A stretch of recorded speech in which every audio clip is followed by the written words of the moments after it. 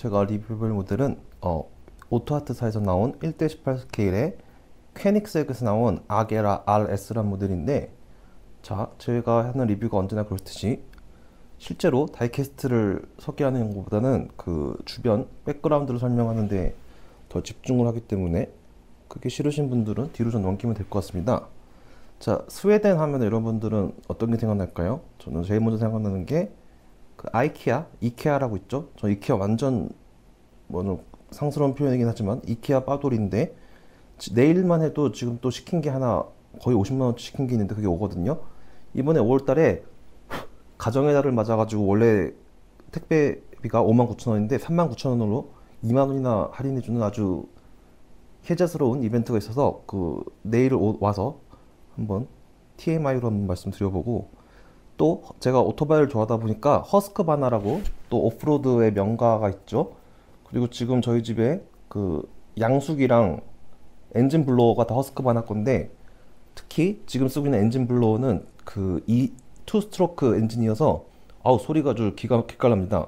나중에 한번 기회가 되면은 그 공구를 한번 소개해보는 리뷰를 해보 또, 또 해볼 생각인데 자 그리고 또 제가 저희 아버지 차가 볼보에서 나온 XC70 70였습니다. 그 그거를 제가 잠깐 잠깐은 아니고 많이 썼는데 제가 여러 군데 이사를 다닐 때마다 그 원룸 그런 정도 하나의 짐이 제가 짐이 절대 적은 미니멀리스트는 절대 아닌데 그런 저임에도 불구하고 그 볼보 XC70 큰 왜건 하나 full size 왜건 하나 있으면은 거의 한 두 번, 세 번만 왔다 갔다 하면은 다 거의 웬만하면 집기류가 다 제 짐이 옮겨져서 굉장히 차가 차에 대한 만족도도 높았고 사운드 시스템도 굉장히 좋았고 시트도 편했고 그 4기통 디젤 엔진이었는데 2리터짜리 D4였습니다. 그 출력이 높은 D5도 아니고 D4였는데 굉장히 차가 잘 나갔던 걸로 기억해요. 어, 이게 진짜 2리터 디젤이 맞나 싶을 정도로 그 펀치력이 엄청나고 어, 볼보가 정말 차를 잘 만든다 그런 생각을 하고 있고 나중에 뭐 가정이 생기면은 저는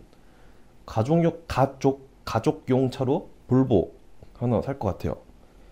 자 그리고 저는 경험해보진 않았는데 저희 부모님 세대라고도 하고 그 애니메이션에 보면은 오타쿠의 비디오라고 있습니다. 그 비디 그 애니메이션에 보면은 그 뭐 친구 누군가 사브를 샀다고 성공했다고 막 하니까 누가 쿠사리를 주면서 마가에로 포르쉐를 사야지 성공한 거라고 막 말해준 대목이 있기도 하고 저희 부모님 세대만 해도 사브가 굉장히 고급 브랜드였고 어, 사브가 그 over engineering 된 차들이 많죠.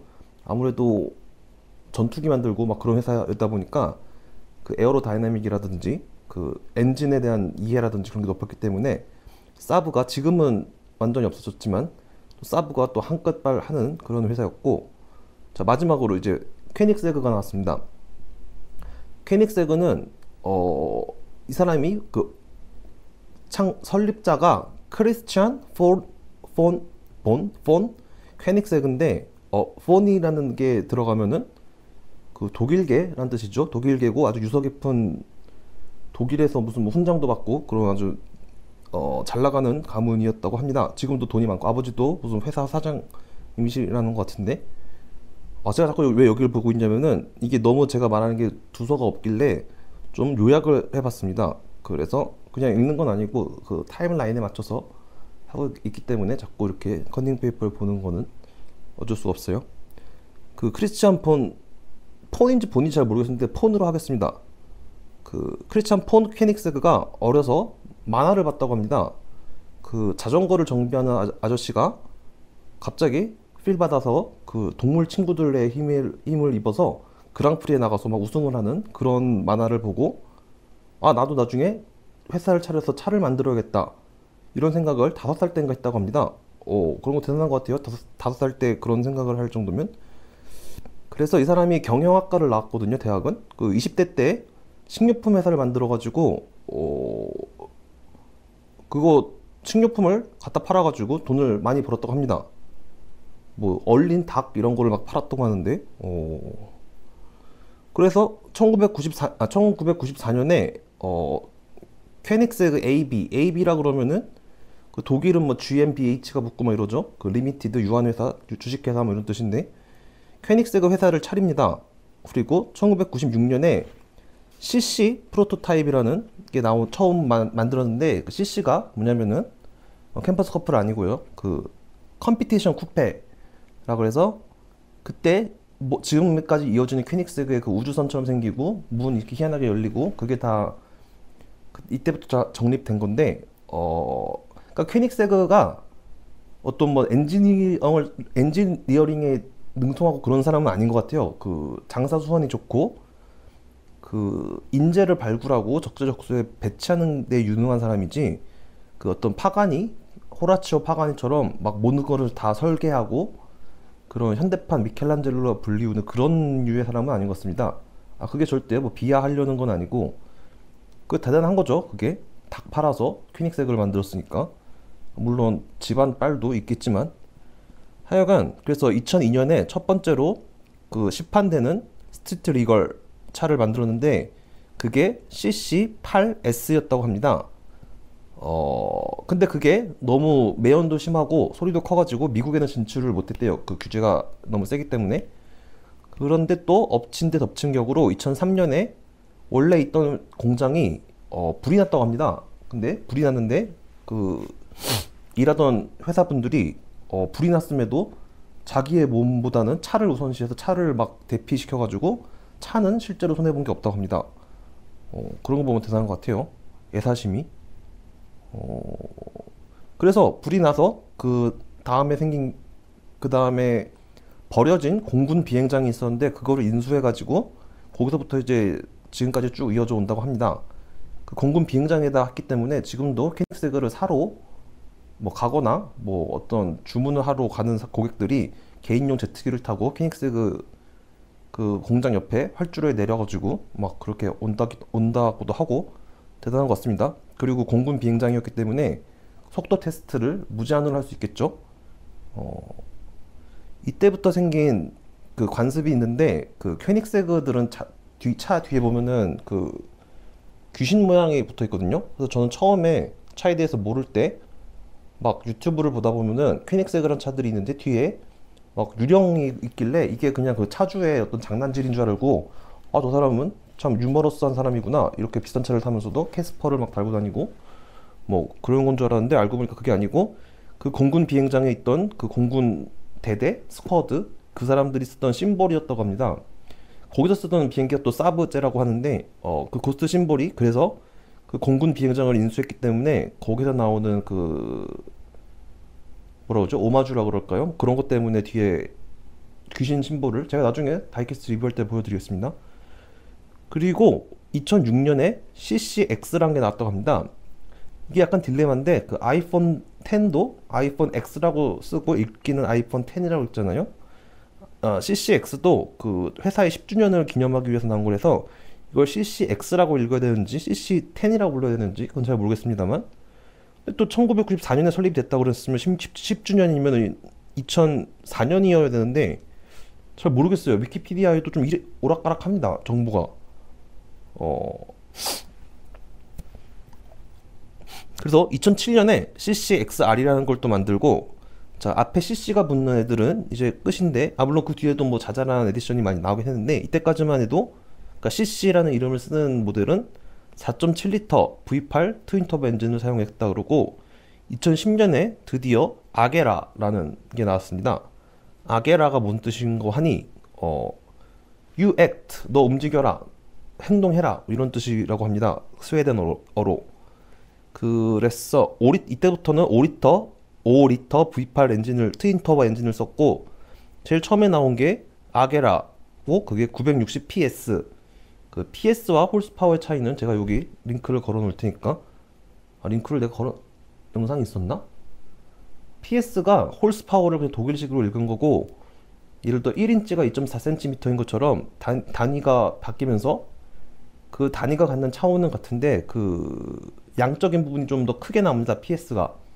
그래서 메이커들이 발표할 때 항상 PS를 먼저 발표하고 그 다음에 brake 아 horsepower를 발표하고 맨 마지막에 brake horsepower를 발표하고 어떤 경우에 또 와트를 또 하기도 하죠. 주로 호주나 이런 데서 나온 차들 보면은 남반구 사람들이 그러니까 아게라가 그래서 960 마력 PS를 내고 그다음에 2013년에 아게라 R이라는 걸 냈다고 합니다. 그거는 1140 PS. 그때부터 되게 좀 단위가 비현실적이긴 한데 어 2010년에 막 부가티 베이론 천만 원 넘었다고 막 홀레 호들갑 떨고 이랬는데 뭐 그래서 어 아게라 R은 근데 그 연료가 그냥 우리가 흔히 쓰는 휘발유나 고급유 그런 게 아니고 E85라는 에탄올이 첨가된 그 되게 친환경적이면서도 엄청난 출력을 낼 수 있는 연료를 쓰, 쓴다고 하는데 이게 막 LA도 지금 다섯 개밖에 그걸 충전할 수 없, 있는 스테이션이 없을 정도로 그 접근성이 굉장히 떨어진다고 합니다. 어, 그래서 나온 게 2013년 같은 2014, 2013년에 아게라 S라는 게 나왔습니다. S는 마력을 좀 줄인 대신 어, 여러 aerodynamic에 신경도 쓰고 그 에탄올 그거 안 넣어도 되, 되게끔 만든 게 아게라 S고 그래서 출력을 좀 줄여서 1030 PS 어 그리고 1년 뒤에 나온 게 아주 유명한 모델이죠 그 one to one이라고 2014년에 1360 PS를 내는 아주 괴물 같은 녀석을 만들었는데 그게 power to weight ratio가 1대 1이어서 어, one to one 1 colon 1인데 그 1360ps로 1360kg을 끈다고 합니다. 그 마력은 제가 여기 여기 이번에는 확실히 리, 링크가 있어요. 거기 보면은 마력과 토크에 대해서 설명한 게 있는데 그 마력은 일률이죠. 그래서 그럼 1360ps가 1360kg을 끄니까 1ps가 1kg을 끄는 거랑 마찬가지죠. 그래서 말 한 마리가 1kg짜리를 끈다고 생각해 보면은 엄청 가, 엄청 긴 하겠죠. 말 한 마리가 끄는 일률로 말 한 마리가 할 수 있는 그 일률로 1kg짜리 그런 무슨 뭐 그런 거를 물이 1.5리터짜리 저거 하나만 해도 1.5kg인데 뭐 생, 상상이 안 될 정도로 빠르겠죠. 그러면은 이 수치가 부가티 베이론의 두 배인가 네 배인가 되는 수치라고 합니다. 그 정도로 압도적인 모델이 나왔고 그 다음에 나온 게 그러니까 좀 재밌어요. 아게라 R이 나오고 S가 나오고 1, 2, 1이 나오고 그 다음에 나온 게 RS입니다. 어, 막 초사이언 1, 2, 3, 4 나가는 것처럼 그 RS는 2015년에 나왔고 제가 지금 리뷰하려는 2년 모델이 드디어 나온 겁니다. 지금 영상이 12분 지났는데 어, 이런 리뷰가 사람들이 그래서 안 보는 것 같긴 한데 그러니까 RS가 나와서 얘는 1360ps까지는 못 내고 1176ps를 내고 그렇습니다. 그리고 지금 아겔 RS를 잇는 모델이 2020년인가 제스코라고 그 크리스찬 폰 퀘닉세그의 아버지가 제스코 폰 퀘닉세그인데 그 아버지의 이름을 따서 제스코라고 만들었고 그 RS가 나오 아게라 RS를 출시하는 그때쯤 그 크리스찬 폰 퀘닉세그 형님이 테슬라 모, 모델 S 90 P95S인가 98S인가 그거를 사가지고 굉장히 감명을 받았다고 합니다. 피닉스에는 항상 터보 차저를 이용했기 때문에 그 터보렉이 어느 정도 있었기 있었지만 쾌, 테슬라 모델 S 끝판왕 걔는 엄청 그냥 즉각적으로 출력이 나오니까 그거 막 타면서 감명을 받아서 전 쾨닉세그 형님은 어렸을 때도 만화 보고 갑자기 차를 만들겠다고 감명을 받고 모델 테슬라를 산 다음에 우리 같으면 뭐 비트코인을 산다거나 주식을 살 생각을 하는데 이분은 아 그럼 우리도 한번 하이브리드 만들어 보자. 처음부터 전기차로 갈 수는 없으니까 플러그인 하이브리드 한번 만들어 보자 해서 나온 게 레게라입니다. 레게라. 그거는 그 페라리도 보면은 8기통과 12기통을 한번 나누고 그 8기통, 12기통에서도 스포츠 모델과 어떤 GT 계열의 차로 나눈 것처럼 피닉스에그도 아까 말한 CC로 시작한 애들이랑 아게라 그리고 제스코로 이어지, 이어 지는 그 라인업은 스포츠 그리고 그거랑 별개로 좀 GT 성향으로 나온 게 레게라 그리고 그게 또 발전해서 나온 게그 4개 네 시트 4개 있는 게메라라고 또 있죠. 그런 식으로 얘네들도 그 아주 소품장 소품종 소량 생산하는 거지만 잘 서로 침범 안 하는 범위를 잘 나눈 것 같아요. 그래서 어 레게라가 저는 사실 처음에 그 차 좋아하는 사람이라 그러면 슈퍼 레제라라는 말을 많이 들어봤을 겁니다. 그거는 스펠링이 L E G E R R A고 그건 이탈리아어고 그 레, 레제라는 가볍다라는 뜻이고 이 레게라는 그 rule하고 reign 해가지고 지배한다 뭐 그런 뜻이라고 합니다. 그래서 저는 처음에 레게라라고 있길래 그게 뭐 가볍다는 뜻인 줄 알고 레게라가 어떤 이 track focus된 모델인 줄 알았는데 알고 보니까 정 반대로 그 플러그인 최초의 플러그인 하이브리드면서 어떤 GT 성향의 안에도 되게 호사롭게 꾸미고 뭐 그런 모델이었다고 해서 약간 어, 충격을 받았고 자 그러면은 이제 디테일 샷으로 가서 어, 다이캐스트 외적인 얘기는 다 했으니까 디테일 샷으로 가서 이 모델 자체에 대한 얘기를 한번 해보, 도록 하겠습니다. 어,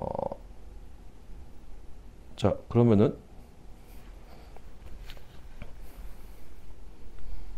자 드디어 디테일 샷으로 왔습니다. 어, 자이 모델은 제가 마찬가지로 10% 할인을 해줘가지고 그 제가 자주 이용하는 사이트에서 얼마에 샀는지는 기억이 잘 안 나네요. 하도 오래돼가지고 한 달이 되면은 항상 얼마에 샀는지 기억을 못해서 이 뒤에 있는 병풍은 하도 제가 청소를 하는데 게을러서 그걸 안 하니까 주변 사람들이 너무 그런 나태한 모습을 보이는 건 좋지 않다 그래서 치우는 대신 어 제가 좋아하는 앨범 같은 걸로 가리도록 해보도록 하겠습니다. 자, 아게라 RS는 아게라 S부터 정리 그 들어간 이 active rear wing이 있어가지고 조절이 가능하시고 그 휠도 카본이라고 합니다. 그 현가 하 중량이라고 그러죠. 그 unsprung mass라고 그러는데 그걸 줄이는 게 엄청나게 어렵기도 하면서 굉장히 중요합니다. 이거에 대해서 한번 자세하게 다뤄볼 것도 한번 만들 생각인데 영상을 그렇게 생각하면 쉬워요. 여러분들이 예를 들어 자전거를 타고 간다고 생각하는데 어, 5kg짜리 가방, 벽돌을 그 등에 메고 간다고 생각해 봅시다. 그거와 2.5kg으로 두 개를 나눠서 그거를 다리에다가 신발에다 2.5kg짜리 신발을 신고 자전거를 어, 돌린다 생각해 봅시다. 그러면 같은 5kg이지만 그 후자가 겁나 힘들겠죠. 그 마찬가지로 휠이나 그 서스펜션 밑에 있는 모든 것 그런 것이 가벼워지면은 엄청 기민해질 수 있는데 자 그런 거에 대한 얘기는 또 나중에 해보도록 하고 자 진짜 이제 다이캐스트로 돌아와서 이 모델은 퀘니 오토아트사에서 나온 1대18 스케일이고 이게 signature는 아닌 걸로 알고 있습니다. 그냥 composite이시고 이고 어 쾨닉세그의 가장 대표적인 특징이라 그러면은 그 문이 아주 특이하게 열리죠? 정식 명칭은 dihedral helix 아 di helix synchro helix라 그러는데 helix는 소용돌이 아, 나선이란 뜻이고 싱크로는 어, 알다시피 그 어떤 동기화가 된다는 뜻이고 다이히드럴이란 말이 사실 저는 처음 알았는데 그 구글에서 다이히드럴 다이히드럴이란 말을 치면은 어, 비행기가 나옵니다. 비행기 선체를 앞에서 바라봤을 때 어, 날개가 아래로 이렇게 아, 위로 V자 형태로 솟아 올라 있는 경우가 있고 반대로 비행기 중에는 날개가 역 V자로 대, 밑으로 어, 내려가 있는 비행기가 있습니다. 그 첫 번째 말한 비행, 앞에서 봤을 때 날개가 위로 올라가 있는 거를 dihedral wing이라 그러고 그 반대의 경우를 anhedral이라고 그러, 그러거나 negative dihedral wing이라고 그런다고 하는데 dihedral wing 같은 경우는 어떤 직진 안정성이 좋다 그러고 anhedral wing 같은 경우에는 어, 선회 능력이 뛰어나다고 합니다. 오토바이 예를 들자면은 그 할리 데이비슨 같은 크루저 같은 친구들은 앞으로 쭉 그 휠이 나가 있기 때문에 어, 직진 안정성이 굉장히 좋은 반면 턴을 하기가 힘들죠. 근데 반대로 제가 지금 타는 레플리카 야마하 R6 같은 경우는 직진 안정성은 상당히 떨어집니다. 살짝만 건드려도 그냥 확 꼬꾸라지는데 대신 코너 할 때 오토바이가 아주 기민하게 움직입니다. 그 차이가 있고 이 퀘닉세그라는 회사 자체가 그 여기 뒤에 있는 여기 뭐야 귀신 모양이 있죠? 이게 그 스웨덴에 있는 공군 비행장을 어, 샀기 때문에 그 비행기에 대한 테마가 좀 있는 것 같아요 퀴닉스에 대해서 그래서 왜 그러면 다이 히드라인지 한번 보여드리겠습니다 자 일단은 문을 열려면은 위에 있는 이 하드탑을 어, 치워야 되는데 이것도 또 키닉스의 전매 특허입니다. 그 하드탑이고 하드탑이 있는 건데 다른 하이퍼카들은 보면은 이런 거를 보관하려면은 차고가 있어야죠. 이게 살짝 자석으로 돼 있어서 어, 이게 지금 한 손으로 제가 하고 있는 거기 때문에 이게 가, 어렵 어렵 쉬워 보여도 쉬운 게 아니다. 여기 보면은 힌지가 있어가지고 이거 깨트리면은 많이 사람들이 깨트리던데 보니까 그래서 키닉스가 어떤 전매 특허가 있냐면은 여기 있는 후드를 아, 엔진 아니 뭐야 자꾸 말이 헛나오네 루프를 어, 앞에 프렁크를 연 다음에 수납할 수가 있습니다. 이런 식으로 이, 이, 방향, 이 방향인 것 같습니다만 이런 식으로 깔끔하게 수납이 되는 이게 특이한 게 또 그 보통 차들 보면은 헤드램프는 그대로 있고 그 덮개만 올라가는데 얘는 덮개랑 그 헤드램프가 일체로 다 같이 올라가는 게 뭔가 좀뭐 기형적인 같은 느낌이 듭니다. 어, 그래도 뭐 어련히 알아서 잘 만들었겠습니까? 어, 이게 한 손으로 하니까 힘들어요.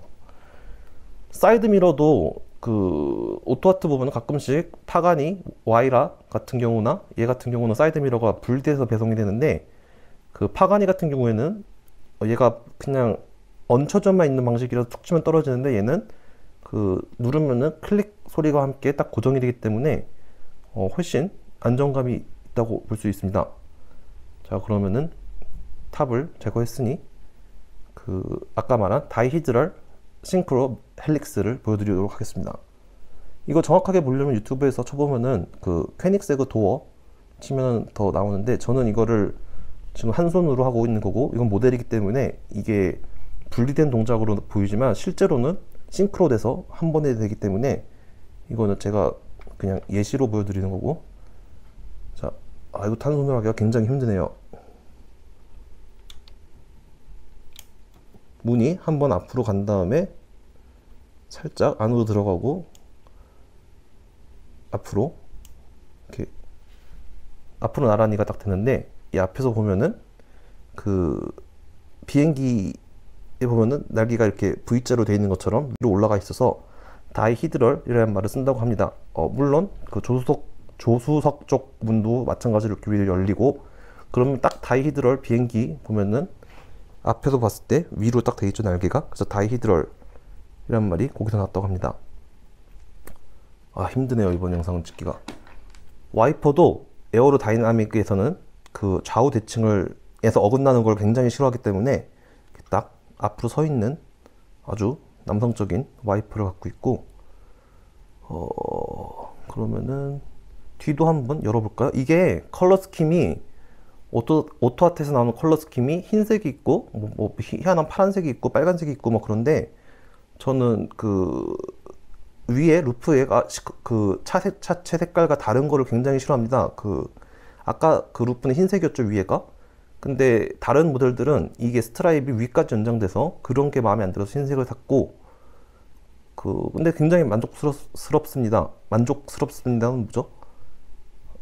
어 뒤에 트렁크가 있는 것도 물론 열립니다. 도구를 빼고 열어야 되던가?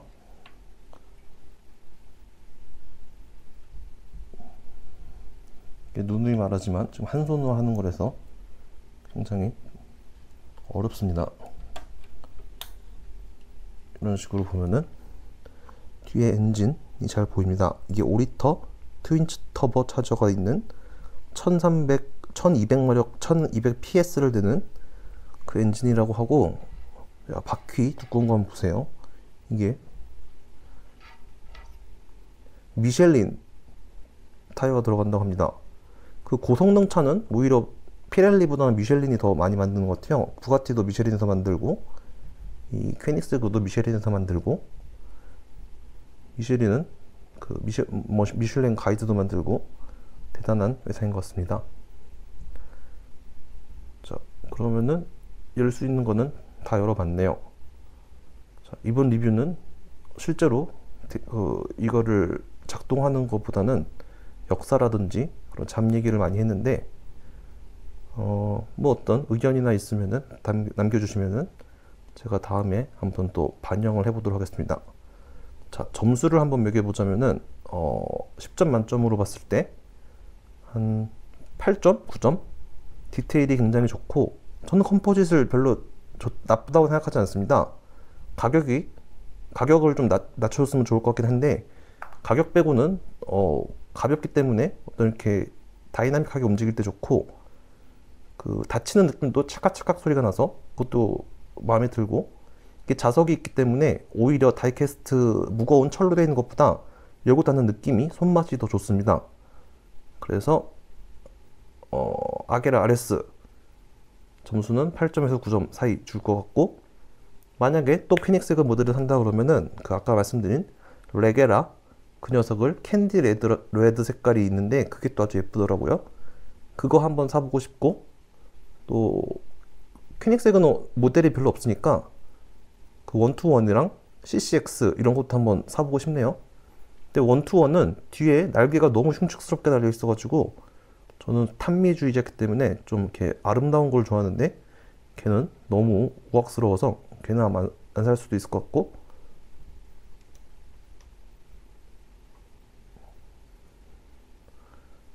자, 이 리뷰를 처음부터 끝까지 보는 사람은 없을 거라 생각하지만 어쨌든 간에 보면 자석이 있습니다 이렇게. 그래서 닫힐 때 찰칵 카드 소리가 나야 되는데 안 나네요